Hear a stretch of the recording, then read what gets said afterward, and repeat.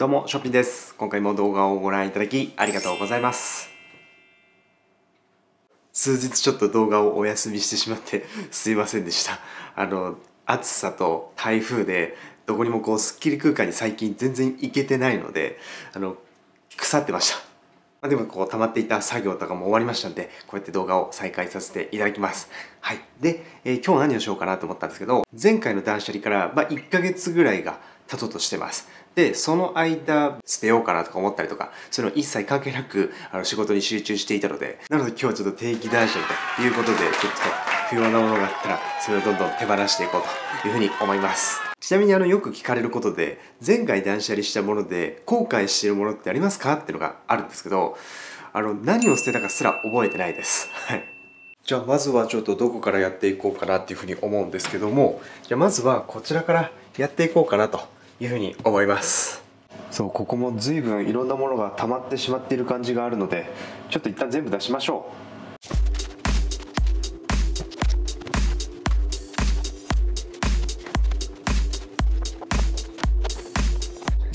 はい以上です。まあ、この布団とかは出してないですけどでもこういったところとかはもう大体出しました。い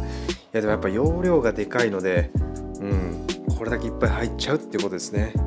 こうやって見ると結構溜まってる気がしますね。まあでもこれだけいっぱいあるんだって俯瞰したところで本当に必要なものはもう先にしまっちゃいましょう。はいある程度しまってきました。でこの中からあでもあれかこの靴は。よいしょ。まあめったに使ってないんでこうやって入れておきます、はい、でこの服たちもえっとこれは冬に使うのではいこの中に入れておきます、えー、ZOZO スーツもこれも定期的に、えー体を継続するためにこれも取ってきます。でちょっとこれらを吟味していくんですけど、えー、とこれはあれなんです。ゴミ袋です。あのスーパーで買ったビニール袋をゴミ袋として使ってるやつなのでこれはまあ必要です。とでえっ、とこれが防腐シートなんですけど100均で買ってきたやつです。100均で買ってきたやつなんですけどあちょっと中身ない。はいこれはもう処分です。蚊取り線香ですね。蚊取り線香なんですけど別にこれ毎日使ってるわけではないんですよ。まあでもこれは夏が終わるまで使っていこうと思います。でえっ、とこれが網戸に貼って虫がこう寄ってこないようにするためのシートなんですけど、うん、別にこれずっとあっても仕方ないんでこれはじゃあ、うん、なんかこう取っとくのもったいないんで使っちゃいましょう。靴の中の嫌な匂いがこれで本当に消えるんで僕はもうこれはめちゃくちゃ信頼します。はいこれは使います。これは正直使ってないんですよねこのあの靴磨きセット。最近これめっきり革靴履いてないのでこれも別に役立たずではあるんですけど将来絶対使うしはいこれ取ってきます。で次これなんですけどこれはこれはこのルーターが入っていたやつなのでこれに関しては、まあ、引っ越しをする時とかにこのルーターをしまって移動させたりすると思うんでまあこれはなんかちょっと捨ててしまうと後々後悔することになると思うんでこれは取っておきます。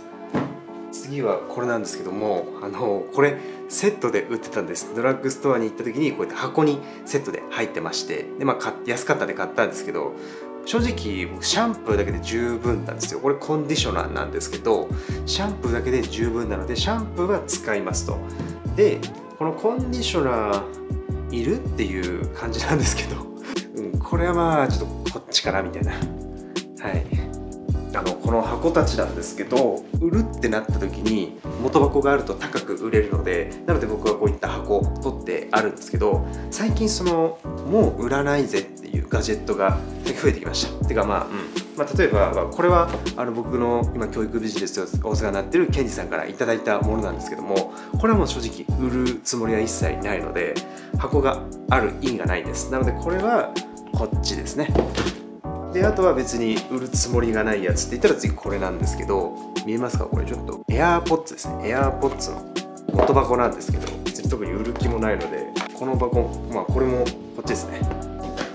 であとはこの元箱。これあの手話の VP83 っていうこっちか。VP83 っていうマイクで今このカメラにつけてるマイクなんですけどこれも正直もう売るつもりがないというかずっとお世話になっていくぞっていうコミットメントも含めもう売らないよっていうのも含めて俺もこっちです。で僕はその前の動画であの外付けハードディスクが壊れちゃって断捨離しますっていうふうに言ったんですけど結局実はまだ取っといてありましてこのままこうやって一応ゴミ箱にプッて投げかけたんですけどいやこのままあったらハードディスク復元されたら終わるなと思って。なのでこれはちょっと専門の人に依頼してデータが残らないように処分をしてもらおうと思います。でこれの代わりにこれをちょっとゲットしたんです。でこれがまあこの角薄なやつなんですけど、まあ、何かあったらちょっとあの返品しなきゃいけないなと思ったんで、うん、使っていたんですけど、まあ、特に問題なく使えているのでこれも用済みということでこっちです。これらに関しては使い通して売るというよりかは持ち物ブラッシュアップっていう意味で新しいものをゲットしたら古いものは捨てるのではなくて売るのでそう、まあ、なのでこれ箱は取ってきます。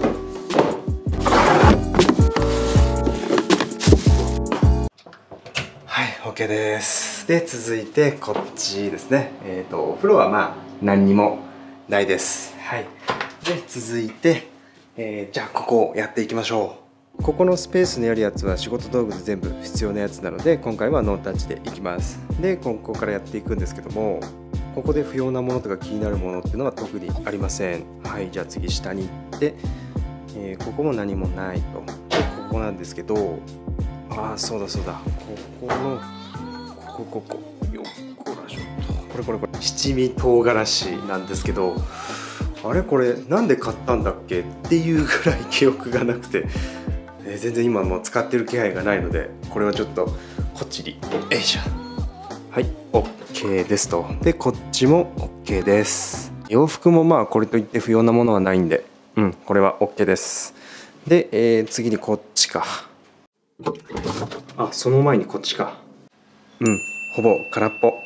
この机スペースなんですけどもこの両サイドがカラーボックスになっていて、まあ、こんな感じで中身が入っているのでここをちょっと点検していきたいと思います。あって言ってもこれはもう仕事道具なのでこの部分のスペースはいじりません。これはあのコロコロでこうやって掃除するやつなのでこれは必要ですと。で、えー、これも雑巾です雑巾がけして掃除するやつなので必要ですと。で、えーと、とこれはまあ仕事道具なので必要ですと。でこれがこれはあのちょっと見にくいかもしれないですけどナイロンでできたあの厚手のカバンみたいなこういうやつですね。これ何でも入っちゃう感じがするので結構役に立つかなっていうふうに思うんですけどただ使ってないんですね。でもまあこれちょっといつかなんか使い迷ったら捨て。はい OK です。で次にそうここがめっちゃごちゃごちゃしてる。あじゃあなんかすごいことになってるなこれは。えー、っととりあえず出してみるとまあ、これはもう僕の中ではもう鉄板というかもう大好きすぎてリピ買いした紙がプラスチックになるワックスじゃなくてジェルかな。これはもう絶対必要でこれもうセットでついてたやつなんですけどちょっと面白いなと思って。でこれどう何かっていうとおお泡がすごい出てるんですけどそうこれをなんか頭皮にブシュってやると頭皮でなんかパチパチやってでなんか頭皮の血行が良くなってみたいな感じらしいんですけどこれはまあ12回やってお確かにパチパチするっていうのを体感してそれっきりです。使ってませんこれ。なのでこれもまあですね。これはもう僕が大好きニベアクリームでこれも足の匂いをこう予防するためには絶対に必要な名前何でしたっけ？ちょっと忘れちゃいましたけども。はいこれも取っといてこれがこうなってでシェーバーでリップクリームとか。でこれも、えーと、おすすめされたやつでケシンってやつなんですけどまあちょっとキモいと思われるかもしれないんですけど、まあ、ちょっと僕もねちょっとこの前髪の交代がちょっと気になってる時期で だったりするんでそうこういうのちょっと予防しとこうかなと思って はいやらせてもらってます。よいしょはい OK です。あそうあとこれなんですけどこれ医療用のマウスピースで Amazon で買ったんですけどこれこんな感じではめるわけなんですよ。はめて寝るんですけど朝起きた時にわあこれめっちゃ歯ぎしりしたんだろうなっていうぐらいの跡がぴっちりちゃんと残るんです。なのでこれアマンスペース買ってよかったなっていうふうに思うんですけど歯にかかる力が3点なんですよね。なので結構前歯がちょっとなんか前にずれたっていう感覚があるのでこれはちょっともうつけられませんね、はい、これはちょっと断捨離で、はい、で、えー、次がこれなんですけども、まあ、これはちょっとドライヤーで必要で、まあ、これもちょっとこう商品を発送した時の書類なんで、はい、これも必要です。でここの中にあこれちなみにかっこつけですからこれちょっと気にしないでください。うわ来たね。出してみましたけども、まあ、こうやって見ると意外とすっきりしてるなっていう印象があるんですけど、まあ、例えばこのライターとか別にこれ使ってませんし買った記憶すらない筆ペンまあ正直これらは場所を取らないんでうまく整理してこの中しまっちゃいましょう。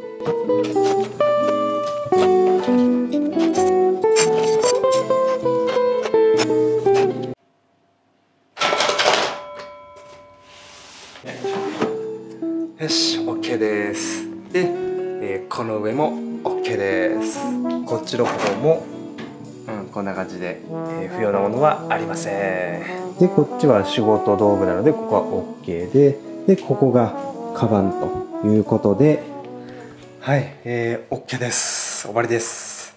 見た目はほとんど変わってないですけど、うん、まあでもちょっとすっきりしました。でまあ毎度恒例なんですけども、まあ、捨てるのはちょっともったいないんじゃないかっていうものを視聴者の方にプレゼントこの中からさせていただきますコンディショナーとヘアトニックのセット。シャンプーメインのシャンプーがないんですけど、まあ、これはちょっとこう使わずにただ捨てるのはちょっともったいないなっていう気がするのでちょっとこれもし欲しい人いたらプレゼントさせていただきます。この AirPods のこの箱とリンスとヘアトニックのセットですね。この2つをプレゼントさせていただきます。